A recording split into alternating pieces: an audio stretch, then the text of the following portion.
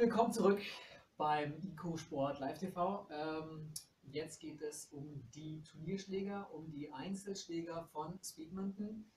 Ich möchte da gerne anfangen mit dem Viper Light. Der Viper Light, um mal die ganze Verpackung zu zeigen.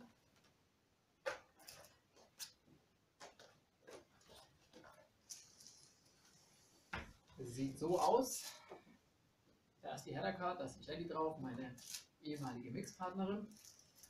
Und wir sehen, der Schläger hat dieselbe Schablone wie die ganzen Aluminium-Standard-Schläger, die in den Sets sind, ist aber nicht mehr aus Aluminium, sondern aus Graphit und fühlt sich sehr gut an. Er ist ein bisschen grifflastiger als der Viper, hat aber dadurch den Vorteil, dass er sich sehr gut führen lässt. Ja?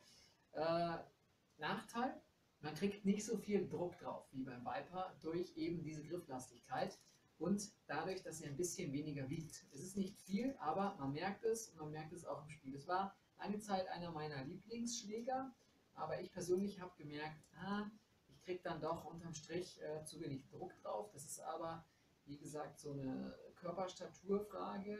Jemand, der, ähm, sagen wir mal, muskulöser ist, kann auch einen schwereren Schläger nehmen. Ähm, deswegen ist der Schläger gut für Jugendliche, würde ich sagen, und für Frauen. Wenn man mehr Power will, dann geht man eben zum Viper. Der Viper ist das hier, der Schläger. Der ist, wie gesagt, ein bisschen kopflastiger. Hat ungefähr hier den Balancepunkt, wie man sieht. Genau. Äh, nach wie vor mein Lieblings Schläger. Nicht nur, weil ich auf der Header-Card bin, sondern äh, weil ich am besten damit spielen kann. Äh, ich beobachte immer wieder, dass kleinere Menschen den sehr gerne haben. Bin irgendwie auch nicht so groß, aber ja. Und dass Batman-Spieler ihn sehr gerne spielen. Ähm, genau. Das ist der Viper. Dann gibt es den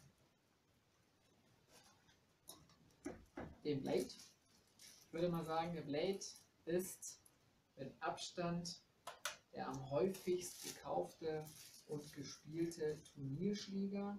Liegt auch daran, dass er bei Tennisspielern sehr beliebt ist. Er ist ein bisschen länger als die Standardschablone, also sprich als der Viper oder der Viper Light. wie man hier sehen kann, ist er ein bisschen länger vom Kopf her. Ähm, fühlt sich super an, hat eine klasse Balance, ist relativ kopflastig. Man kann viel Geschwindigkeit auf den Ball bringen, viel Tempo, kann viel Druck machen. Ähm, per spielt ihn, also für mich der beste Spieler der Welt.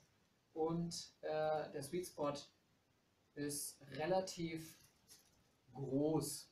Ja, also der Treffpunktbereich, wo man den Ball mit treffen kann oder sollte, sodass er optimal getroffen wurde, ist relativ groß. Aber zum Thema Sweet Spot nichts gegen den Phantom, weil der Phantom hat jetzt nicht mehr diese Eiform, sondern vielmehr eine runde Form, also nicht diese ovale Form, sondern ist runder als die Standardschablone, aber natürlich auch runder als der Blade. Er ist genauso lang wie der Blade. Und ja, ähnelt sehr stark einem Tennisschläger. Ähm, deswegen wird er auch von Jasmina gespielt, beispielsweise, die eine beidhändige Rückhand spielt. Diesen Schläger empfehle ich vielen Tennisspielern, ähm, die eben gewohnt sind, einen Tennisschläger in der Hand zu haben und gern auch dieselbe Schablone spielen. Ich persönlich spiele nicht so gerne, mir ist es dann wieder etwas zu breit. Ja, stoße mir da auf einmal an meiner Wade an, aber das ist definitiv auch eine große Geschmacksfrage und mit dem Schläger kann man viel machen und auch viel erreichen. Ein tolles Ding. Dann die High-End-Variante.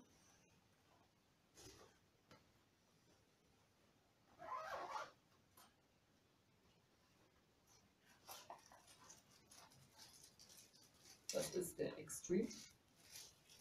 Extreme deswegen, weil er hier ein X vorweist, unter anderem. Hat wieder von der Schablone die ähnliche Form wie der Phantom. Ist insgesamt ein bisschen schwerer, aber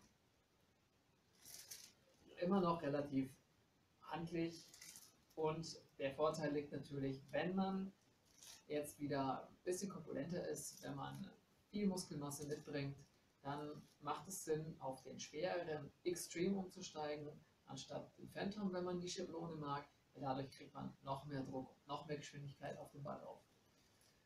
Ja, von den Materialien her sind die ganzen Turnierschläger keine Aluminiumschläger mehr, sondern eben entweder Graphit, Kevlar, Carbon, ähm, wem das jetzt nichts sagt, da möchte ich jetzt auch nicht zu sehr ins Detail gehen, das ist auch nicht weiter wichtig, aber natürlich spielt es eine große Rolle für die Impulsübertragung vom Körper über den Schläger zum Ball.